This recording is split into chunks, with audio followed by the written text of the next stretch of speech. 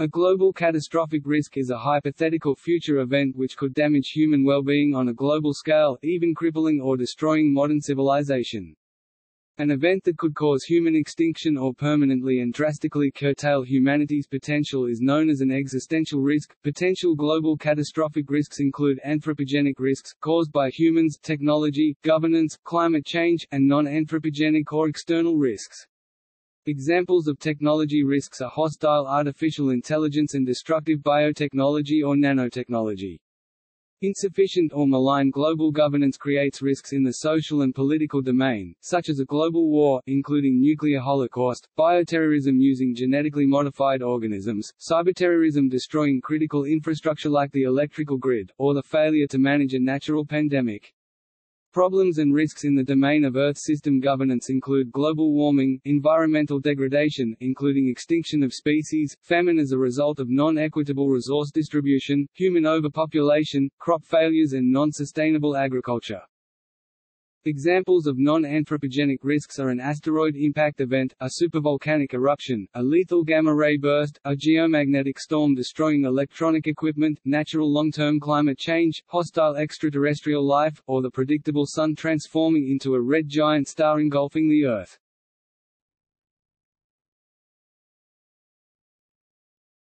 Topic. Classifications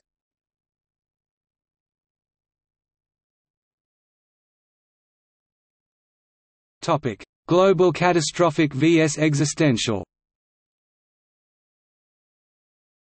A global catastrophic risk is any risk that is at least global in scope and is not subjectively imperceptible in intensity. Those that are at least transgenerational, affecting all future generations in scope and terminal in intensity are classified as existential risks. While a global catastrophic risk may kill the vast majority of life on Earth, humanity could still potentially recover. An existential risk, on the other hand, is one that either destroys humanity and, presumably, all but the most rudimentary species of non-human life forms and or plant life entirely or at least prevents any chance of civilization recovering. Similarly, in catastrophe, risk and response, Richard Posner singles out and groups together events that bring about utter overthrow or ruin on a global, rather than a local or regional scale. Posner singles out such events as worthy of special attention on cost-benefit grounds because they could directly or indirectly jeopardize the survival of the human race as a whole. Posner's events include meteor impacts, runaway global warming, grey goo, bioterrorism, and particle accelerator accidents. Researchers experience difficulty in studying near-human extinction directly, since humanity has never been destroyed before. While this does not mean that it will not be in the future, it does make modeling existential risks difficult, due in part to survivorship bias. However, civilizations vanished rather frequently in human history.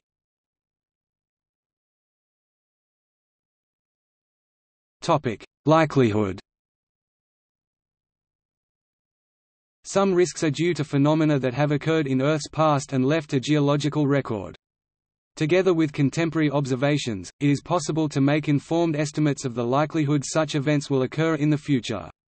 For example, an extinction-level comet or asteroid impact event before the year 2100 has been estimated at 1 in a million.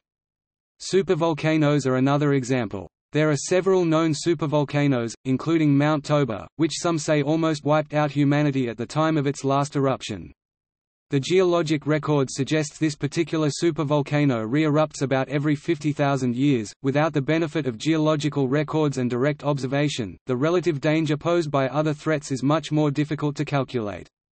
In addition, it is one thing to estimate the likelihood of an event taking place, something else to assess how likely an event will cause extinction if it does occur, and most difficult of all, the risk posted by synergistic effects of multiple events taking place simultaneously. Given the limitations of ordinary calculation and modeling, expert elicitation is frequently used instead to obtain probability estimates. In 2008, an informal survey of experts on different global catastrophic risks at the Global Catastrophic Risk Conference at the University of Oxford suggested a 19% chance of human extinction by the year 2100. The conference report cautions that the results should be taken with a grain of salt The results were not meant to capture all large risks and did not include things like climate change, and the results likely reflect many cognitive biases of the conference participants. Table source: Future of Humanity Institute, 2008. The 2016 annual report by the Global Challenges Foundation estimates that an average American is more than five times more likely to die during a human extinction event than in a car crash. There are significant methodological challenges in estimating these risks with precision. Most attention has been given to risks to human civilization over the next 100 years, but forecasting for this length of time is difficult. The types of threats posed by nature have been argued to be relatively constant, though this has been disputed, and new risks could be discovered. Anthropogenic threats, however, are likely to change dramatically with the development of new technology. While volcanoes have been a threat throughout history, nuclear weapons have only been an issue since the 20th century. Historically, the ability of experts to predict the future over these timescales has proved very limited. Man-made threats such as nuclear war or nanotechnology are harder to predict than natural threats, due to the inherent methodological difficulties in the social sciences. In general, it is hard to estimate the magnitude of the risk from this or other dangers, especially as both international relations and technology can change rapidly. Existential risks pose unique challenges to prediction, even more than other long-term events, because of observation selection effects. Unlike with most events, the failure of a complete extinction event to occur in the past is not evidence against their likelihood in the future, because every world that has experienced such an extinction event has no observers, so regardless of their frequency, no civilization observes existential risks in its history. These anthropic issues can be avoided by looking at evidence that does not have such selection effects, such as asteroid impact craters on the Moon, or directly evaluating the likely impact of new technology. In addition to known and tangible risks, unforeseeable black swan extinction events may occur, presenting an additional methodological problem.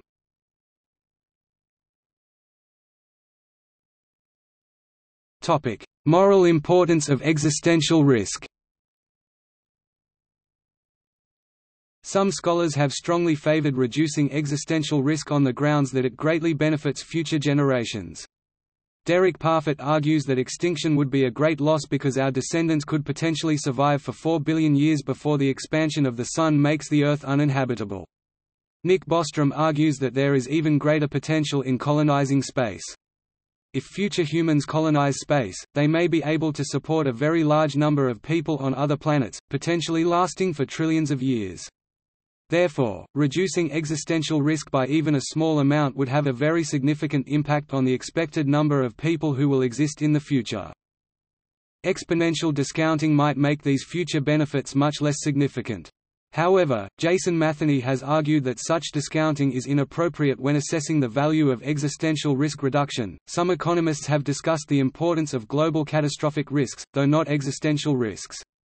Martin Weitzman argues that most of the expected economic damage from climate change may come from the small chance that warming greatly exceeds the mid-range expectations, resulting in catastrophic damage. Richard Posner has argued that we are doing far too little, in general, about small, hard to estimate risks of large scale catastrophes. Numerous cognitive biases can influence people's judgment of the importance of existential risks, including scope insensitivity, hyperbolic discounting, availability heuristic, the conjunction fallacy, the affect heuristic, and the overconfidence effect. Scope insensitivity influences how bad people consider the extinction of the human race to be. For example, when people are motivated to donate money to altruistic causes, the quantity they are willing to give does not increase linearly with the magnitude of the issue. People are roughly as concerned about 200,000 birds getting stuck in oil as they are about 2,000. Similarly, people are often more concerned about threats to individuals than to larger groups. There are economic reasons that can explain why so little effort is going into existential risk reduction. It is a global good, so even if a large nation decreases it, that nation will only enjoy a small fraction of the benefit of doing so. Furthermore, the vast majority of the benefits may be enjoyed by far future generations, and though these quadrillions of future people would in theory perhaps be willing to pay massive sums for existential risk reduction, no mechanism for such a transaction exists.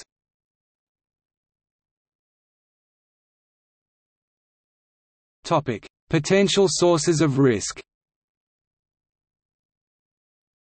Some sources of catastrophic risk are natural, such as meteor impacts or supervolcanoes. Some of these have caused mass extinctions in the past. On the other hand, some risks are man-made, such as global warming, environmental degradation, engineered pandemics and nuclear war.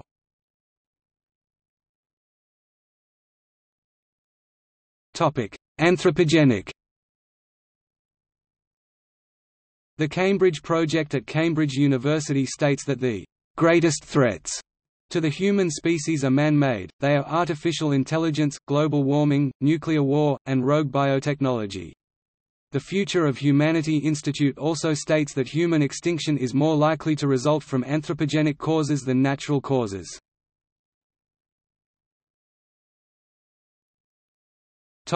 Artificial intelligence It has been suggested that learning computers that rapidly become superintelligent may take unforeseen actions, or that robots would outcompete humanity one technological singularity scenario. Because of its exceptional scheduling and organizational capability and the range of novel technologies it could develop, it is possible that the first Earth superintelligence to emerge could rapidly become matchless and unrivaled. Conceivably, it would be able to bring about almost any possible outcome, and be able to foil virtually any attempt that threatened to prevent it achieving its objectives. It could eliminate, wiping out if it chose, any other challenging rival intellects, alternatively it might manipulate or persuade them to change their behavior towards its own interests, or it may merely obstruct their attempts at interference. In Bostrom's book, Superintelligence, Paths, Dangers, Strategies, he defines this as the control problem. Physicist Stephen Hawking, Microsoft founder Bill Gates and SpaceX founder Elon Musk have echoed these concerns, with Hawking theorizing that this AI could spell the end of the human race. In 2009, the Association for the Advancement of Artificial Intelligence AAAI hosted a conference to discuss whether computers and robots might be able to acquire any sort of autonomy, and how much these abilities might pose a threat or hazard. They noted that some robots have acquired various forms of semi-autonomy, including being able to find power sources on their own and being able to independently choose targets to attack with weapons. They also noted that some computer viruses can evade elimination and have achieved cockroach intelligence. They noted that self-awareness as depicted in science fiction is probably unlikely, but that there were other potential hazards and pitfalls. Various media sources and scientific groups have noted separate trends in differing areas which might together result in greater robotic functionalities and autonomy, and which pose some inherent concerns. A survey of AI experts estimated that the chance of human level machine learning having an extremely bad, e.g., human extinction, long term effect on humanity is 5%. A 2008 survey by the Future of Humanity Institute estimated a 5% probability of extinction by superintelligence by 2100. Eliezer Yudkowsky believes that risks from artificial intelligence are harder to predict than any other known risks due to bias from anthropomorphism.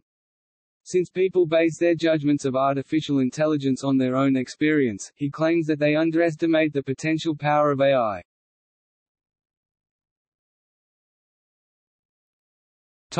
Biotechnology. Biotechnology can pose a global catastrophic risk in the form of bioengineered organisms, viruses, bacteria, fungi, plants or animals. In many cases the organism will be a pathogen of humans, livestock, crops or other organisms we depend upon e.g. pollinators or gut bacteria. However, any organism able to catastrophically disrupt ecosystem functions, e.g. highly competitive weeds, outcompeting essential crops, poses a biotechnology risk.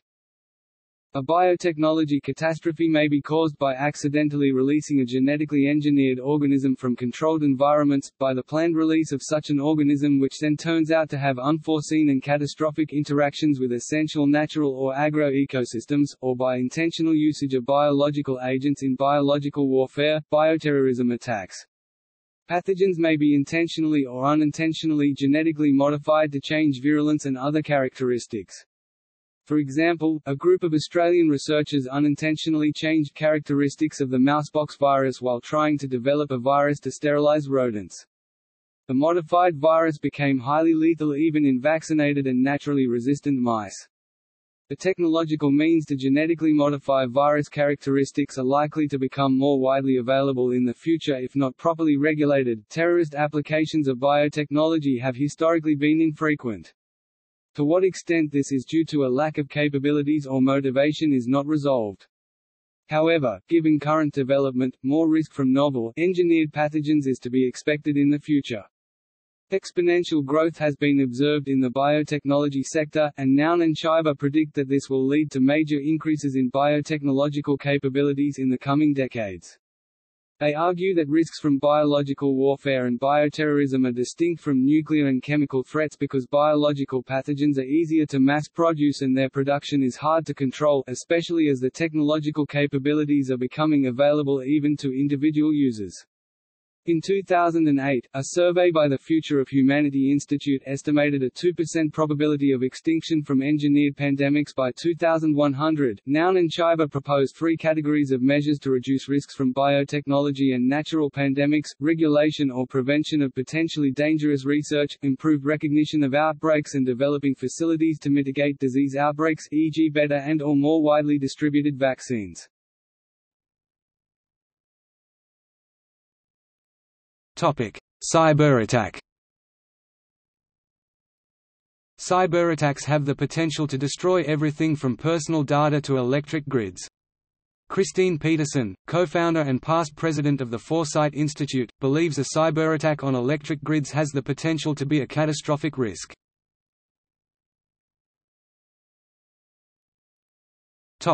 Environmental disaster An environmental or ecological disaster, such as world crop failure and collapse of ecosystem services, could be induced by the present trends of overpopulation, economic development, and non-sustainable agriculture. Most environmental scenarios involve one or more of the following, Holocene extinction event, scarcity of water that could lead to approximately one-half of the Earth's population being without safe drinking water, pollinator decline, overfishing, massive deforestation, desertification, climate change, or massive water pollution episodes. Detected in the early 21st century, a threat in this direction is colony collapse disorder, a phenomenon that might foreshadow the imminent extinction of the western honeybee. As the bee plays a vital role in pollination, its extinction would severely disrupt the food chain. An October 2017 report published in The Lancet stated that toxic air, water, soils, and workplaces were collectively responsible for 9 million deaths worldwide in 2015, particularly from air pollution which was linked to deaths by increasing susceptibility to non-infectious diseases, such as heart disease, stroke, and lung cancer. The report warned that the pollution crisis was exceeding the envelope on the amount of pollution the Earth can carry, and threatens the continuing survival of human societies. Topic: Experimental technology accident. Nick Bostrom suggested that in the pursuit of knowledge, humanity might inadvertently create a device that could destroy Earth and the Solar System. Investigations in nuclear and high-energy physics could create unusual conditions with catastrophic consequences. For example, scientists worried that the first nuclear test might ignite the atmosphere. Others worried that the RHIC or the Large Hadron Collider might start a chain reaction global disaster involving black holes, strangelets, or false vacuum states. These particular concerns have been refuted, but the general concern remains.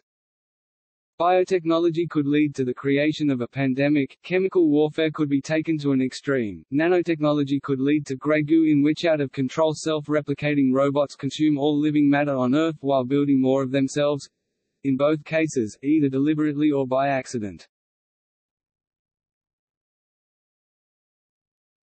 Topic: Global warming.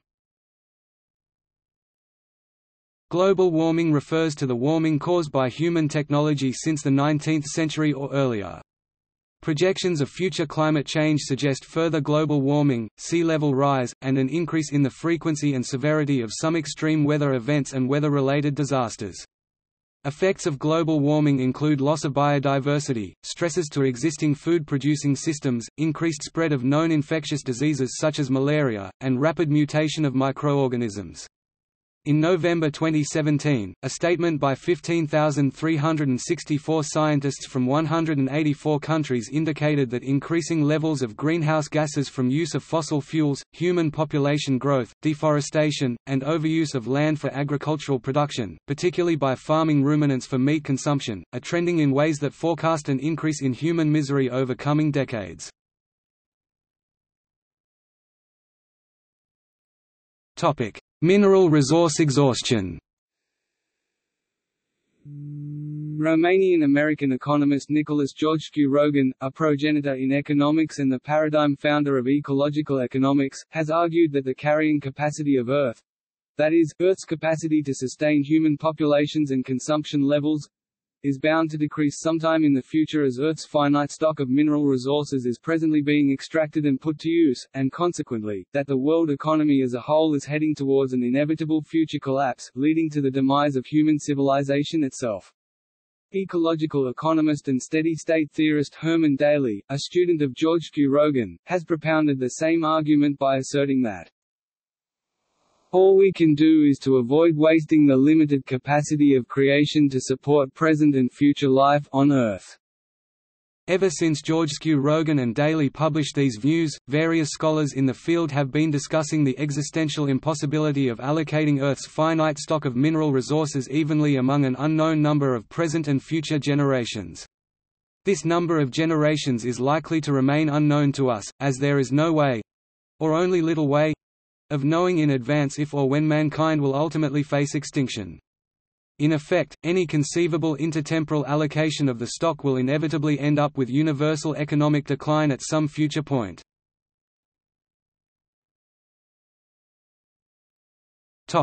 Nanotechnology Many nanoscale technologies are in development or currently in use. The only one that appears to pose a significant global catastrophic risk is molecular manufacturing, a technique that would make it possible to build complex structures at atomic precision. Molecular manufacturing requires significant advances in nanotechnology, but once achieved could produce highly advanced products at low costs and in large quantities in nanofactories of desktop proportions. When nanofactories gain the ability to produce other nanofactories, production may only be limited by relatively abundant factors such as input materials, energy, and software. Molecular manufacturing could be used to cheaply produce, among many other products, highly advanced, durable weapons. Being equipped with compact computers and motors, these could be increasingly autonomous and have a large range of capabilities. Chris Phoenix and Treder classify catastrophic risks posed by nanotechnology into three categories from augmenting the development of other technologies such as AI and biotechnology. By enabling mass production of potentially dangerous products that cause risk dynamics such as arms races depending on how they are used. From uncontrolled self-perpetuating processes with destructive effects, several researchers state that the bulk of risk from nanotechnology comes from the potential to lead to war, arms races and destructive global government. Several reasons have been suggested why the availability of nanotech weaponry may with significant likelihood lead to unstable arms races compared to e.g. nuclear arms races. A large number of players may be tempted to enter the race since the threshold for doing so is low. The ability to make weapons with molecular manufacturing will be cheap and easy to hide. Therefore, lack of insight into the other party's capabilities can tempt players to arm out of caution or to launch preemptive strikes. Molecular manufacturing may reduce dependency on international trade, a potential peace-promoting factor. Wars of aggression may pose a smaller economic threat to the aggressor since manufacturing is cheap and humans may not be needed on the battlefield. Since self-regulation by all state and non-state actors seems hard to achieve, measures to mitigate war-related risks have mainly been proposed in the area of international cooperation. International infrastructure may be expanded giving more sovereignty to the international level. This could help coordinate efforts for arms control. International institutions dedicated specifically to nanotechnology perhaps analogously to the International Atomic Energy Agency IAEA or General Arms Control may also be designed. One may also jointly make differential technological progress on defensive technologies, a policy that players should usually favor. The Center for Responsible Nanotechnology also suggests some technical restrictions. Improved transparency regarding technological capabilities may be another important facilitator for arms control. Grey goo is another catastrophic scenario, which was proposed by Eric Drexler in his 1986 book Engines of Creation and has been a theme in mainstream media and fiction. This scenario involves tiny self-replicating robots that consume the entire biosphere using it as a source of energy and building blocks. Nowadays, however, nanotech experts—including Drexler—discredit the scenario. According to Phoenix, a so-called grey goo could only be the product of a deliberate and difficult engineering process, not an accident.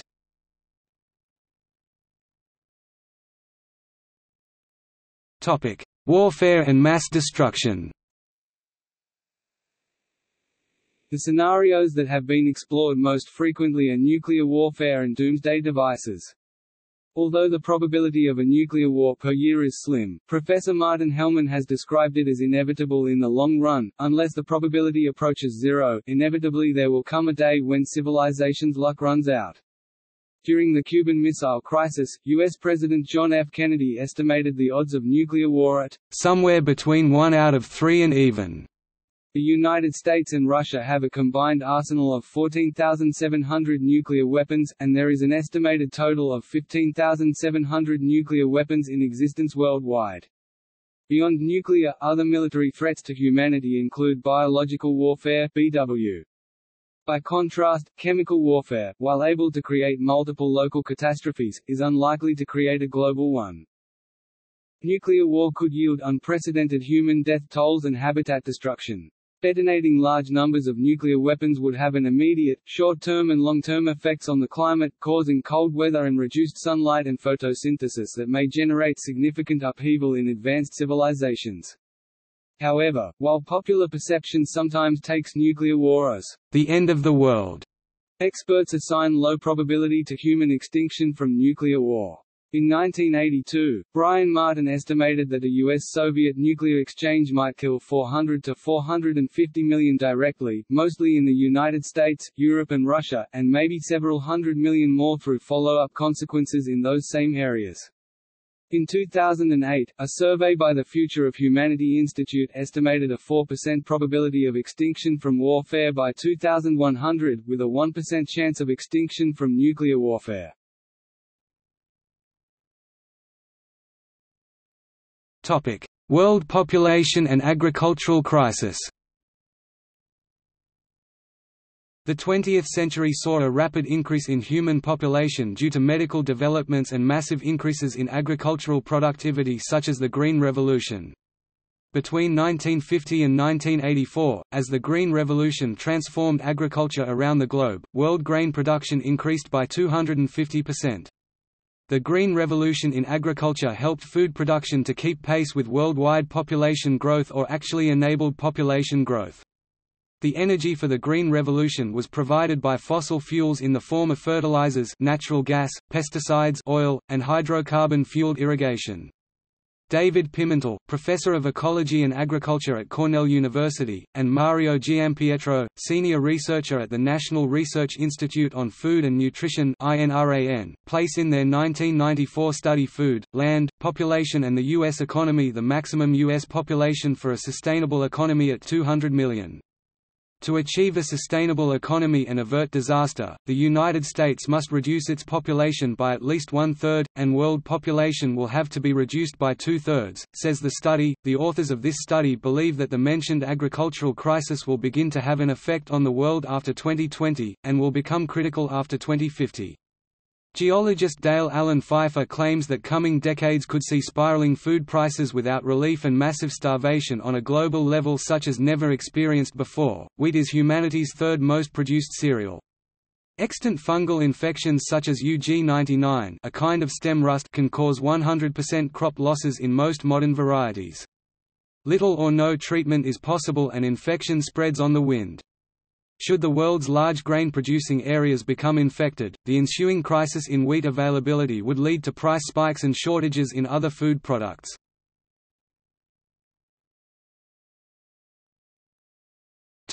Non-anthropogenic.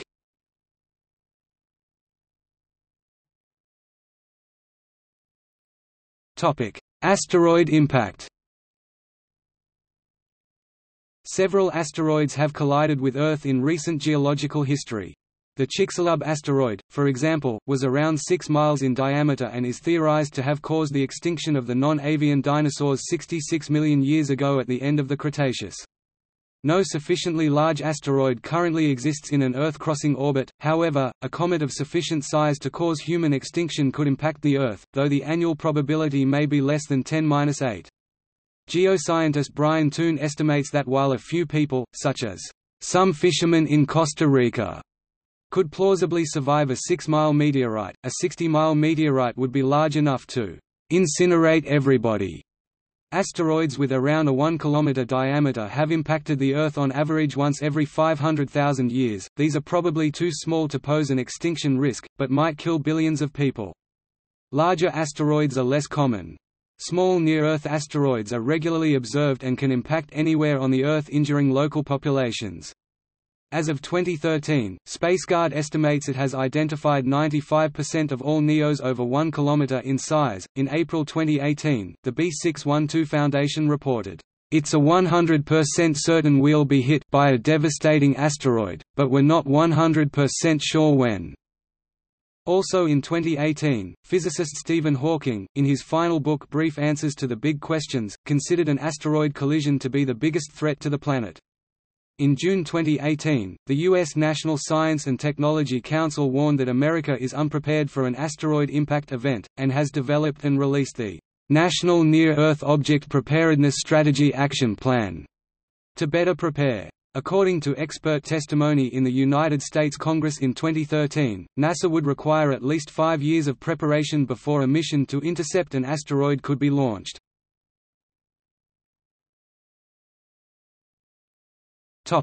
Cosmic threats.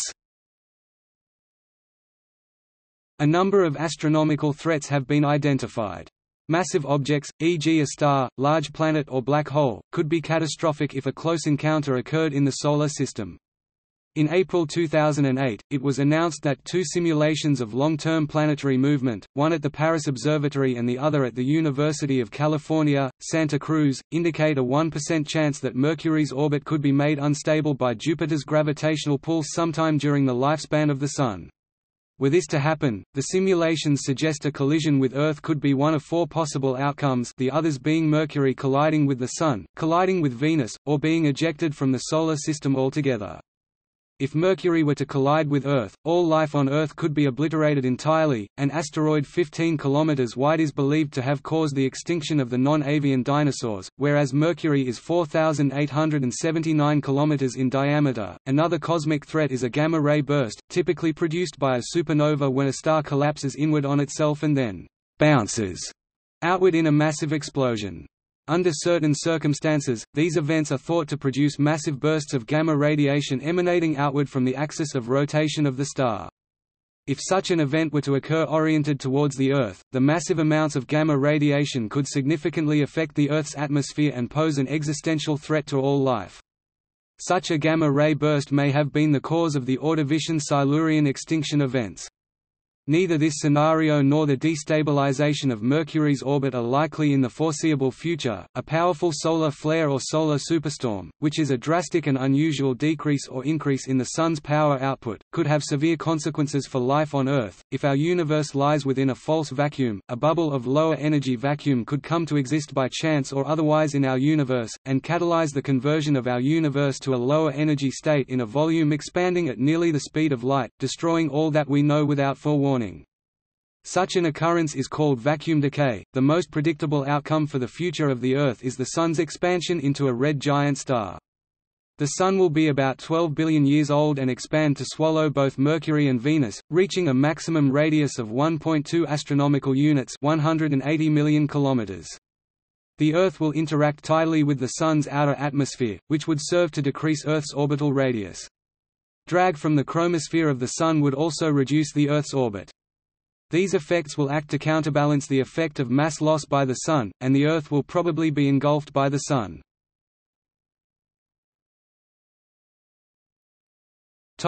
Extraterrestrial invasion Intelligent extraterrestrial life, if existent, could invade Earth either to exterminate and supplant human life, enslave it under a colonial system, steal the planet's resources, or destroy the planet altogether. Although evidence of alien life has never been proven, scientists such as Carl Sagan have postulated that the existence of extraterrestrial life is very likely.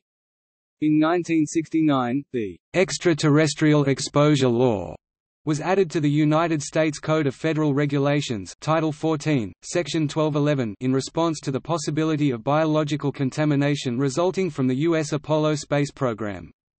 It was removed in 1991. Scientists consider such a scenario technically possible, but unlikely. An article in the New York Times discussed the possible threats for humanity of intentionally sending messages aimed at extraterrestrial life into the cosmos in the context of the SETI efforts.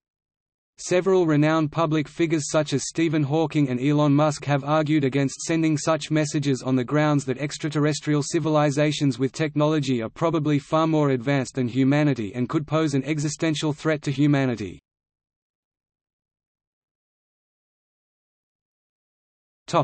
Global pandemic Numerous historical examples of pandemics had a devastating effect on a large number of people. The present, unprecedented scale and speed of human movement make it more difficult than ever to contain an epidemic through local quarantines, and other sources of uncertainty and the evolving nature of the risk means natural pandemics may pose a realistic threat to human civilization. There are several classes of argument about the likelihood of pandemics.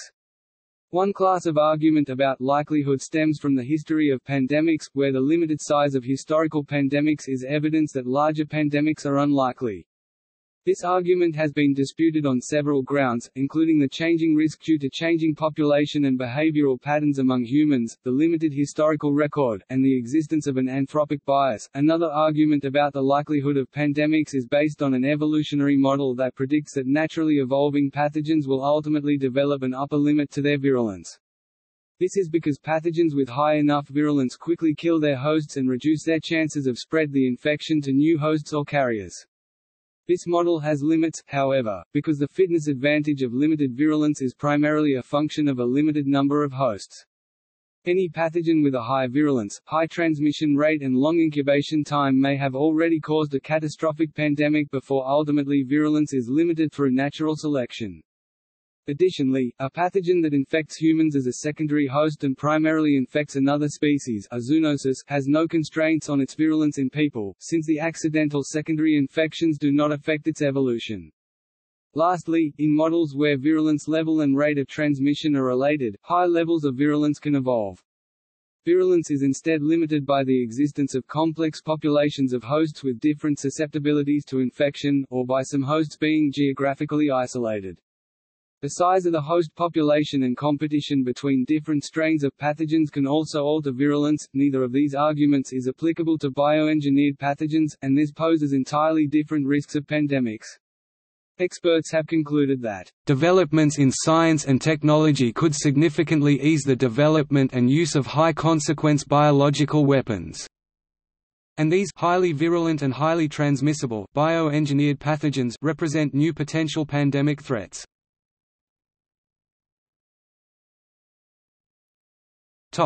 Natural climate change Climate change refers to a lasting change in the Earth's climate. The climate has ranged from ice ages to warmer periods when palm trees grew in Antarctica. It has been hypothesized that there was also a period called snowball Earth, when all the oceans were covered in a layer of ice. These global climatic changes occurred slowly, prior to the rise of human civilization about 10,000 years ago near the end of the last major ice age when the climate became more stable. However, abrupt climate change on the decade time scale has occurred regionally. Since civilization originated during a period of stable climate, a natural variation into a new climate regime colder or hotter could pose a threat to civilization. In the history of the Earth, many ice ages are known to have occurred. An ice age would have a serious impact on civilization because vast areas of land mainly in North America, Europe, and Asia could become uninhabitable. Currently, the world is in an interglacial period within a much older glacial event. The last glacial expansion ended about 10,000 years ago, and all civilizations evolved later than this. Scientists do not predict that a natural ice age will occur anytime soon. The amount of heat-trapping gases emitted into Earth's oceans and atmosphere will prevent the next ice age, which otherwise would begin in around 50,000 years, and likely more glacial cycles.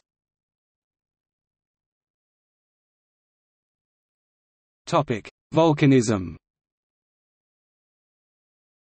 a geological event such as massive flood basalt, volcanism, or the eruption of a supervolcano could lead to a so-called volcanic winter, similar to a nuclear winter. One such event, the Toba eruption, occurred in Indonesia about 71,500 years ago. According to the Toba catastrophe theory, the event may have reduced human populations to only a few tens of thousands of individuals. Yellowstone caldera is another such supervolcano, having undergone 142 or more caldera-forming eruptions in the past 17 million years.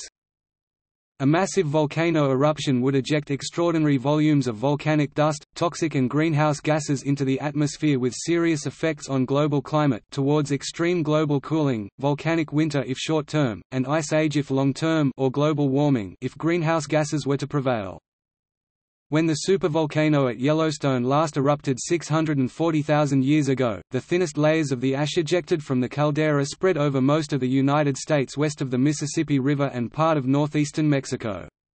The magma covered much of what is now Yellowstone National Park and extended beyond, covering much of the ground from Yellowstone River in the east to the Idaho Falls in the west, with some of the flows extending north beyond Mammoth Springs. According to a recent study, if the Yellowstone caldera erupted again as a supervolcano, an ash layer 1 to 3 mm thick could be deposited as far away as New York, enough to reduce traction on roads and runways, short out electrical transformers and cause respiratory problems.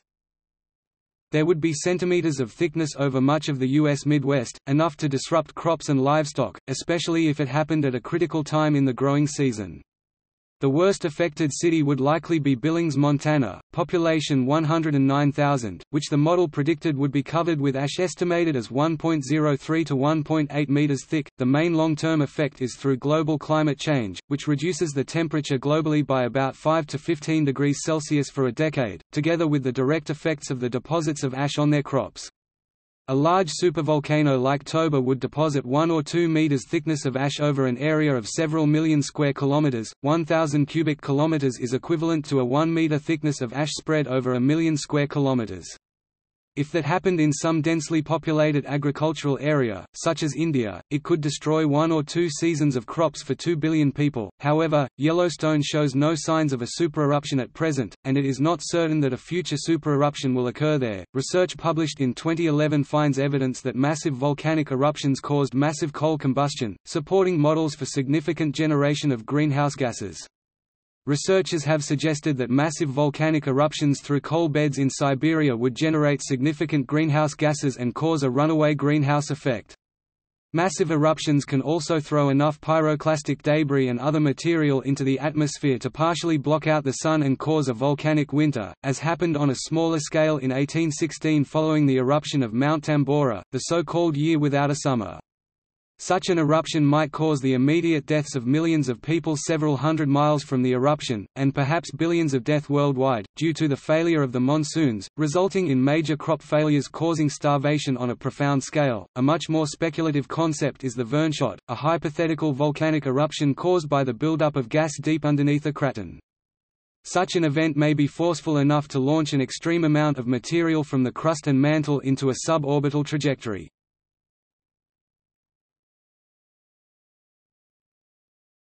Topic: Proposed mitigation.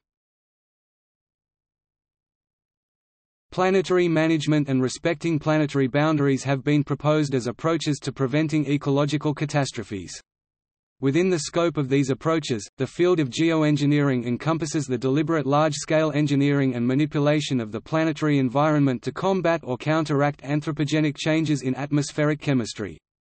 Space colonization is a proposed alternative to improve the odds of surviving an extinction scenario. Solutions of this scope may require megascale engineering. Food storage has been proposed globally, but the monetary cost would be high. Furthermore, it would likely contribute to the current millions of deaths per year due to malnutrition. Some survivalists stock survival retreats with multiple year food supplies. The Svalbard Global Seed Vault is buried 400 feet 120 meters inside a mountain on an island in the Arctic. It is designed to hold 2.5 billion seeds from more than 100 countries as a precaution to preserve the world's crops.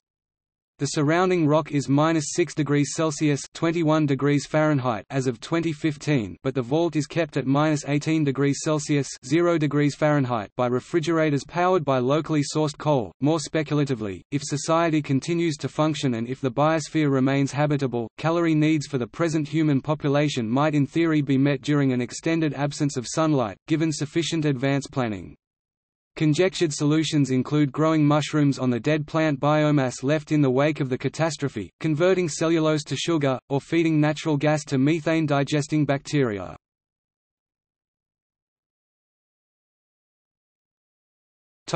Global catastrophic risks and global governance Insufficient global governance creates risks in the social and political domain, but the governance mechanisms develop more slowly than technological and social change. There are concerns from governments, the private sector, as well as the general public about the lack of governance mechanisms to efficiently deal with risks, negotiate and adjudicate between diverse and conflicting interests. This is further underlined by an understanding of the interconnectedness of global systemic risks.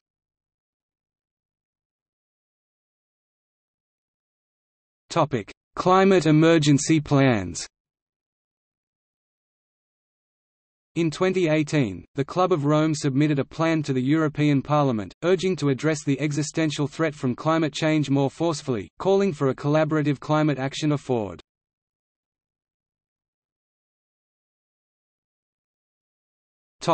Organizations The Bulletin of the Atomic Scientists Est. 1945 is one of the oldest global risk organizations, founded after the public became alarmed by the potential of atomic warfare in the aftermath of World War II. It studies risks associated with nuclear war and energy and famously maintains the doomsday clock established in 1947. The Foresight Institute Est. 1986 examines the risks of nanotechnology and its benefits. It was one of the earliest organizations to study the unintended consequences of otherwise harmless technology gone haywire at a global scale. It was founded by K. Eric Drexler who postulated, "'grey goo' Beginning after 2000, a growing number of scientists, philosophers and tech billionaires created organizations devoted to studying global risks both inside and outside of academia. Independent non-governmental organizations (NGOs) include the Machine Intelligence Research Institute (EST), 2000, which aims to reduce the risk of a catastrophe caused by artificial intelligence, with donors including Peter Thiel and Jed McCaleb. The Nuclear Threat Initiative EST 2001 seeks to reduce global threats from nuclear, biological and chemical threats, and containment of damage after an event. It maintains a Nuclear Material Security Index. The Lifeboat Foundation EST 2009 funds research into preventing a technological catastrophe. Most of the research money funds projects at universities. The Global Catastrophic Risk Institute EST 2011 is a think tank for catastrophic risk. It is funded by the NGO Social and Environmental Entrepreneurs. The Global Challenges Foundation EST 2012, based in Stockholm and founded by Laszlo Szombatfalvy, releases a yearly report on the state of global risks. The Future of Life Institute 2014 aims to support research and initiatives for safeguarding life considering new technologies and challenges facing humanity. Elon Musk is one of its biggest donors. University-based organizations include the Future of Humanity Institute (EST) 2005, which researches the questions of humanity's long-term future, particularly existential risk. It was founded by Nick Bostrom and is based at Oxford University. The Center for the Study of Existential Risk (EST) 2012 is a Cambridge-based organization which studies four major technological risks, artificial intelligence, biotechnology, global warming and warfare. All are man-made risks, as Huw Price explained to the AFP news agency. It seems a reasonable prediction that sometime in this or the next century intelligence will escape from the constraints of biology. He added that when this happens, "...we're no longer the smartest things around," and will risk being at the mercy of Machines that are not malicious, but machines whose interests don't include us. Stephen Hawking was an acting advisor. The Millennium Alliance for Humanity and the Biosphere is a Stanford University-based organization focusing on many issues related to global catastrophe by bringing together members of academic in the humanities. It was founded by Paul Ehrlich among others. Stanford University also has the Center for International Security and Cooperation focusing on political cooperation to reduce global catastrophic risk. The Center for Security and Emerging Technology was established in January 2019 at Georgetown's Walsh School of Foreign Service and will focus on policy research of emerging technologies with an initial emphasis on artificial intelligence. They received a grant of 55 million United States dollars from Good Ventures as suggested by the Open Philanthropy Project. Other risk assessment groups are based in or are part of governmental organizations. The World Health Organization WHO includes a division called the Global Alert and Response GAR, which monitors and responds to global epidemic crisis. GAR helps member states with training and coordination of response to epidemics. The United States Agency for International Development USAID has its Emerging Pandemic Threats Program which aims to prevent and contain naturally generated pandemics at their source. The Lawrence Livermore National Laboratory has a division called the Global Security Principal Directorate which researches on behalf of the government issues such as biosecurity and counterterrorism.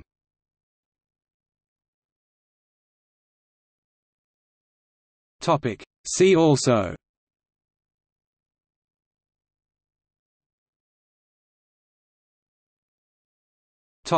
Notes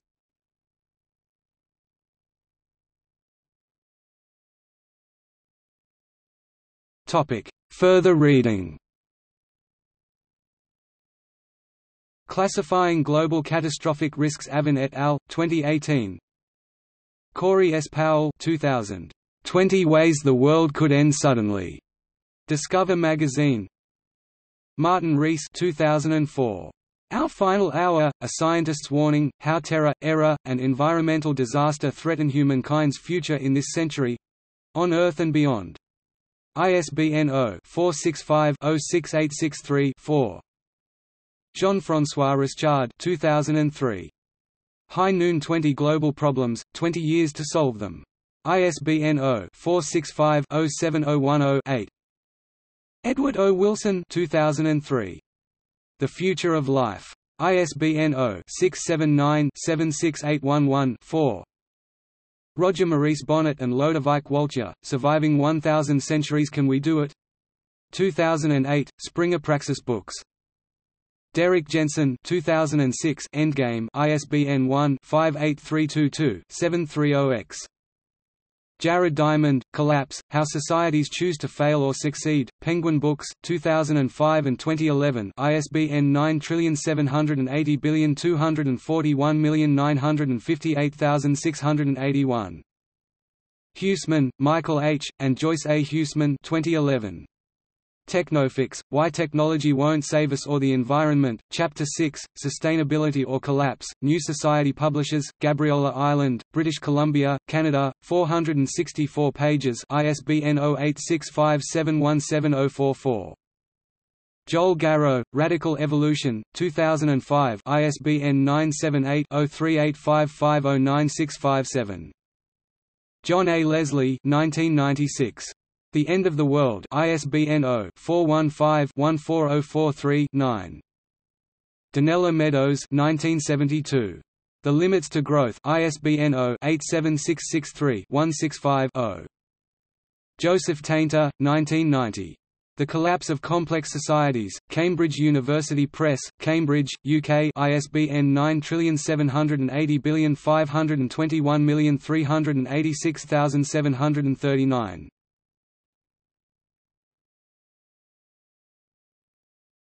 Topic: External links. Annual reports on global risk by the Global Challenges Foundation. What a way to go! From The Guardian. Ten scientists name the biggest dangers to Earth and assess the chances they will happen. April 14, 2005. Stephen Petranek, 10 Ways the World Could End, a TED Talk. Top 10 Ways to Destroy Earth. LiveScience.com. LiveScience. Archived from the original on 1 January 2011. Are we on the road to civilization collapse? BBC, the 19th of February 2019.